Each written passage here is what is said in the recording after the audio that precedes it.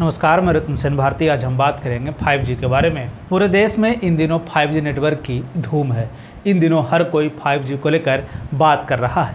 एक समय था जब 4G को लेकर इसी तरह का माहौल बना हुआ था।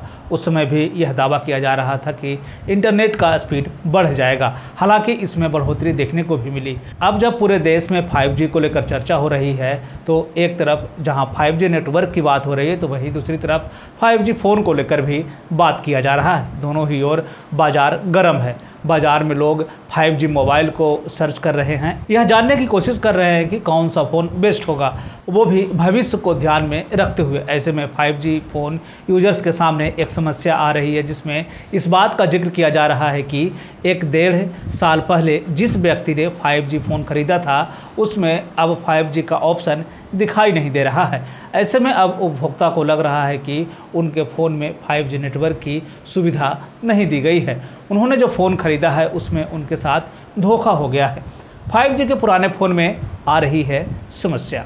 देश के कई राज्यों में 5G की शुरुआत हो गई है। ऐसे में लोग अब अपने 5G फ़ोन में 5G नेटवर्क को सर्च कर रहे हैं। इसी दौरान एक साल पुराना जिनका फ़ोन है उन उपभोक्ताओं के फ़ोन में इस तरह की शिकायतें सामने आ रही है। उपभोक्ताओं ने खुद इस तरह की शिकायत की है कि उनके फ़ोन में 5G नेटवर्क काम नहीं कर रहा है। ऐसे में अब उपभोक्ताओं के मन में एक सवाल यह उठ रहा है कि वे क्या करें? 5G नेटवर्क की सुविधा पाने के लिए उन्हें दूसरा फ़ोन खरीदना होगा? इस तरह की समस्याएँ कई उपभोक्ताओं के सामने आ गई है। ऐसे में एक बात यह भी कहा जा रहा है कि कई ऐसी कंपनियाँ हैं जो कि एक से डेढ़ साल पहले 5G नेटवर्क के नाम पर कई फ़ोन को बाज़ार में उतार दी थी, लेकिन उसमें 5G की जगह 4G ही दिखा रहा है। ऐसे में यह उम्मीद की जा रही है कि आने वाले समय में यह कंपनियाँ अपने फ़ोन में 5G को इनेबल कर देगी। अगर हम इसके तकनीकी पक्ष को देखें तो फ़ोन में एक ओटीए अपडेट होगा, जिसके बाद से आपके फ़ोन में 5G नेटवर्क की शुरुआत हो जाएगी और आपको फ़ोन भी 5G सपोर्ट करने लगेगा। हालाँकि इस बात की जानकारी अभी कंपनी की तरफ़ से साझा नहीं की गई है।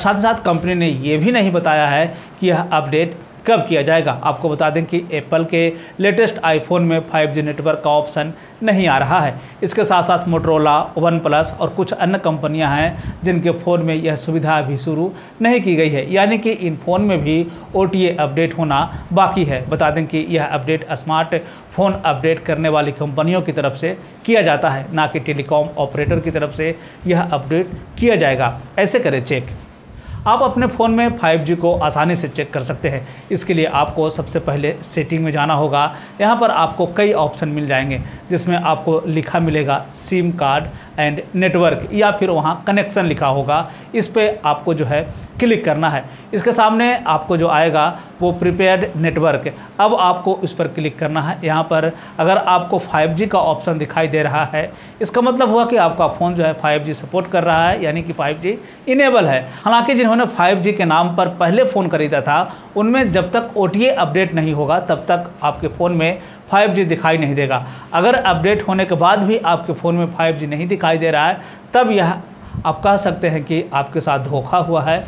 ऐसे में आपका फ़ोन जो है वह अभी भी 4G ही है। फ़िलहाल आपको इस अपडेट का इंतज़ार करना होगा। उसके बाद ही ये कहा जा सकता है कि आपका फ़ोन 5G है या 4G इस तरह की कई समस्याएँ जो है कई उपभोक्ताओं के सामने आई थी। ऐसे में अब मोबाइल कंपनियाँ जो है ये ये भी दावा कर रही है कि बहुत ही जल्द जो है ओटीए अपडेट होगा। उसके बाद यह साफ़ हो जाएगा कि आपका फ़ोन 5G है या 4G है। तो इस तरह से जो है आप अपने फ़ोन को चेक कर सकते हैं। तो ये थे 5G नेटवर्क से जुड़ी हुई खबर। बिहार और बिहार से जुड़ी हुई और भी ऐसे ही खबरों के लिए बने रहे हमारे चैनल के साथ। मुश्ती जेजाजत धन्यवाद।